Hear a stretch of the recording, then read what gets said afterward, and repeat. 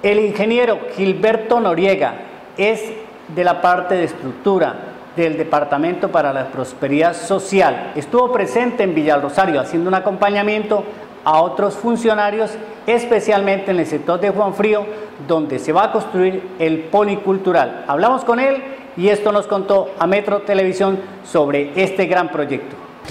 Ese proyecto va a beneficiar mucho a la región porque veo que pues es una los habitantes eh, están en, una zona de, de mucho riesgo. Se ve que aquí se requiere la presencia de, en estos momentos, la unidad de víctimas para que esta, e, e, esta población sea objeto de una reparación colectiva.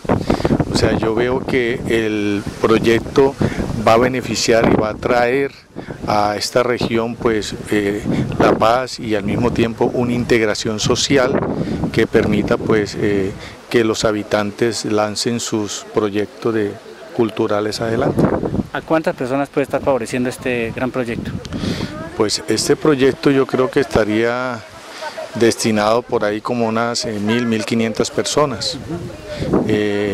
y adicionalmente se va a hacer partícipe la zona deportiva que está al lado para integrarlo y generar mayor eh, atracción del personal hacia la parte deportiva y hacia la parte de, de,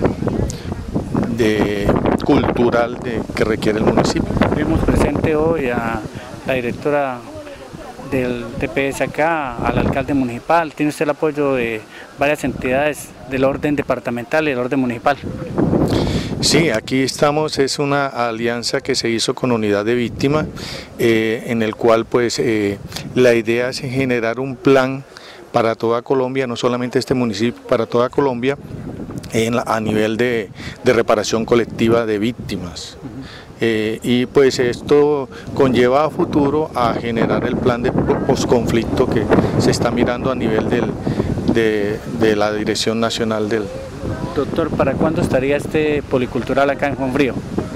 Este proyecto, si se cumplen con los requerimientos y los lineamientos establecidos eh, por los proyectos del, que maneja DPS, eh, yo creo que estaría ah, construyéndose, terminándose de construir, o sea, eh, a finales del año 2017. Más o menos, ¿la obra cuánto dura? ¿Ocho meses por ahí? la obra dura más o menos unos ocho o nueve meses. Doctor, esperamos que de una otra parte esto sea una realidad para esta gente de Fuenfrío.